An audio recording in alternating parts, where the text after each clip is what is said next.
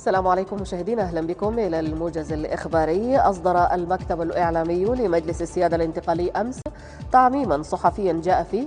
انعقدت سلسلة من الاجتماعات طوال الثلاثه أيام الماضية برئاسة الفريق أول ركن عبد الفتاح البرهان رئيس مجلس السيادة الانتقالي وبحضور نائبه محمد حمدان دقلو وضمت هذه الاجتماعات الأطراف الموقعة عليه. وبعد نقاش مستفيض وبروح وطنية عالية واضعين مصلحة البلاد ونجاح الفترة الانتقالية والتحول الديمقراطي.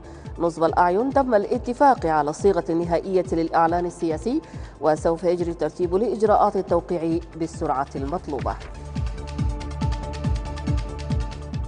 ينظم صندوق النقد العربي بالتعاون مع صندوق النقد الدولي بشراكة مع وزارة المالية الإماراتية المنتدى السابع للمالية العامة في الدول العربية تحت عنوان الاستدامة المالية في المنطقة العربية مرحلة ما بعد أزمة جائحة كورونا.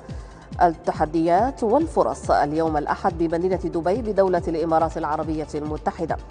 يفتتح المنتدى كل من السيد محمد بن هادي الحسيني وزير دولة الشؤون المالية بالإمارات العربية المتحدة وعبد الرحمن بن عبد الله الحميدي المدير العام رئيس مجلس إدارة صندوق النقد العربي والسيدة كريستالينا جورجيفا مدير عام صندوق النقد الدولي إلى جانب عدد من رؤساء وخبراء في المؤسسات المالية الدولية والإقليمية ووزارة المالية والمصارف المركزية في الدول العربية.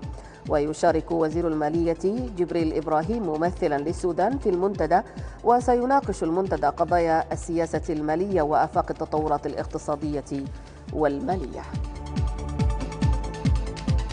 نجحت وزارة الصحة بولاية الجزيرة في توفير جهازي أشعة مقطعية ورنين مغناطيسي لمستشفى الجزيرة لتشخيص وعلاج الأورام بدعم من بنك التنمية الأفريقي ووزارة الصحة الاتحادية وجهاز أشعة مقطعية لمستشفى الإصابات بقيمة 152 ألف جنيه بتمويل ولائي إضافة لتركيب كراسي أسنان جديدة وتفعيل عدد من معدات مستشفى الأسنان بمدني كما تم تركيب عدد عدد من الكراسي لغسيل الكلى جديدة إضافة إلى 24 ماكينة غسيل كلى جديدة بمستشفى الجزيرة لجراحة وأمراض الكلى وتوفير أجهزة ومعدات طبية خاصة بطوارئ الحمل والولادة لمستشفى النساء والتوليد بمدني ومستشفى الجاموسي.